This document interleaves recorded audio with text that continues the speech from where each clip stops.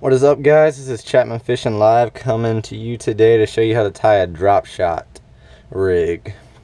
Is a good rig for finding bass in your local pond or lake at any depth. Instead of just going off a regular weight or a split shot, this will make it easier for you to find the fish and catch them.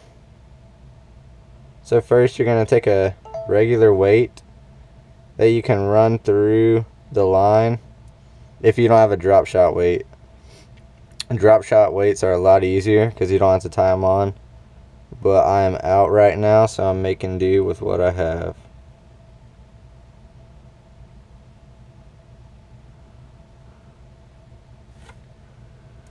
Oh, it's not wanting to go through.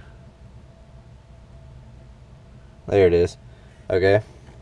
So once you get it ran through the first time, you want to take that end run it back through the weight to where it comes out the other side like that. Then you want to pull that and get you enough slack over here to make you a nice loop so you can tie a Palomar knot. So what you're going to do hold that and grab the loop. Bring it around that Oops, I lost it. Okay. So let's do that again. Let's try that again. Wrap it around. Then once you get it wrapped around, put it under, then pull. Then you're gonna wrap it, well get the loop you made, get it open, then put it around the weight. And then once you have it around the weight, moisten it and pull.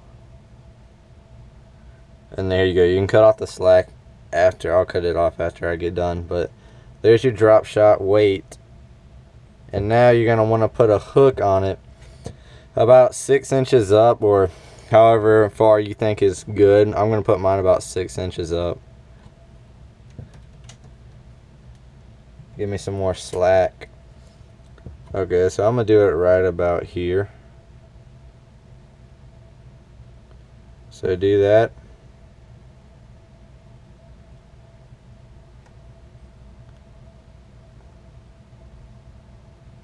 This hook, this hook is actually bent.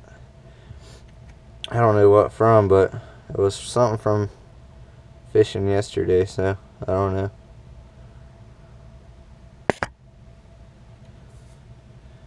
Alright, so once you have the loop on, you're just going to do another drop shot knot. So you're going to wrap it around like so.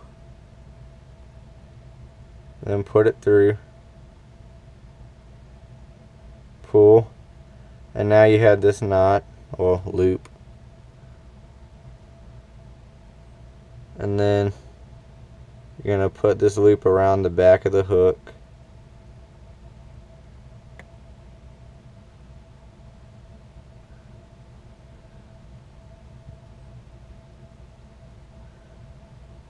There you go. And then moisten that knot too so it doesn't come undone. And then pull. And then there's the drop shot rig and actually can you see? It okay. There's the drop shot rig.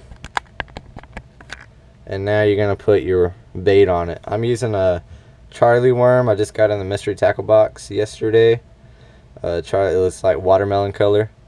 So what you want you can there's a lot of ways to run the worm for a drop shot but I just simply go